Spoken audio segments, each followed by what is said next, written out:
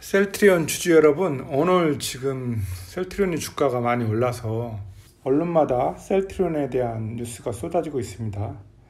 여러분들 이거 지금 이 뉴스의 행간을 잘 읽으셔야 됩니다.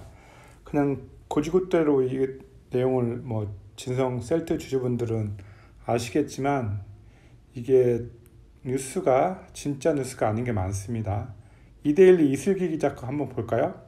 한국판 게임스탑전 동학개비는 셀트리온 팔았다. 한국의 개인 투자자들이 한국판 게임스톱 전을 펼치겠다고 선포했지만 정작 관련주는 대규모로 팔아치운 것으로 나타났다. 주가가 오르자 차익 실현에 나선 것으로 보인다. 앞서 한국 개인 투자자들은 게임스톱 주도 대규모로 팔아치우며 미국에서도 야유를 산 바 있다. 이 개인 계좌가 개인 계좌가 아닐 가능성이 셀트리온은 특히나 높습니다. 셀트리온 주주 여러분. 특히 최근에 들어오신 분들은 이거 오해하기 쉬워요.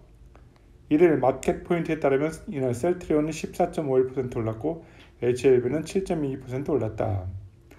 두 종목이 일제히 급등하면서 시장 한켠에서 한국판 게임 스톱전이 효과를 봤다는 얘기가 나왔다. 이날 개인 투자자들의 모임 한국주식투자자연합회는 코스피 코스닥 시장에서 각각 공매도 잔량 1위 공, 종목인 셀트리온과 HLB 대거 매수에 기관들로 하여금 숏 스퀴즈를 야기하도록 행동에 나설 것이라고 언급한 바 있기 때문이다. 최근 미국에서 개인 투자자들이 게임스톱을 대량 매수해서 주가를 끌어올린 뒤 숏 스퀴즈를 일으켜 헤지펀드를 혼쭐내줬듯 한국에서도 두 종목을 대거 매수해 공매도하는 외국인 기관들을 혼내주자는 발상이다. 그러나 실상은 다르다.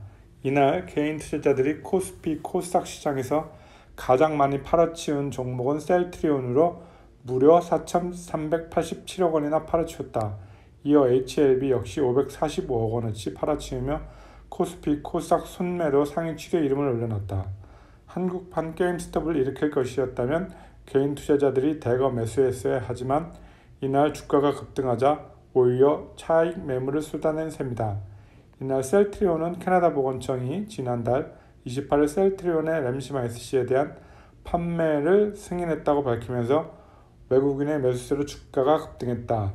개인 투자자들의 매수로 주가가 급등한 뒤 외국인 기관이 매수한 것도 아니기 때문에 게임스톱전으로 외국인 기관이 손해를 봤다고 보기엔 불분명하다. 일각에선 미국 투자자들이 2008년 글로벌 금융위기 이후 월스트리트에 대한 반감으로 진지하게 게임스톱전에 임하고 있는 반면 한국 투자자의 경우 이번 기회를 단타의 기회로 삼고 있다는 지적이 나온다. 미국은 글로벌 금융위기에 문제를 일으켰던 월스트리트는 구제 금융을 통해 구해준 반면 일반 서민들만 어려워졌다는 지적이 줄곧 제기되어 온 바 있다. 이슬기 기자. 이슬기 기자님, 한국 투자자의 경우 이번 기회를 셀트리온에 대해서는 전혀 단타의 기회로 삼고 있지 않습니다. 셀트리온의 역사를 알면 이렇게 기사를 못 쓰죠. 이데일리 아무리 그래도 기사는 기사답게 제대로 써주시길 바랍니다. 화가 많이 나네요. 이슬기 기자님. 앞으로는 잘 써주시길 부탁드립니다.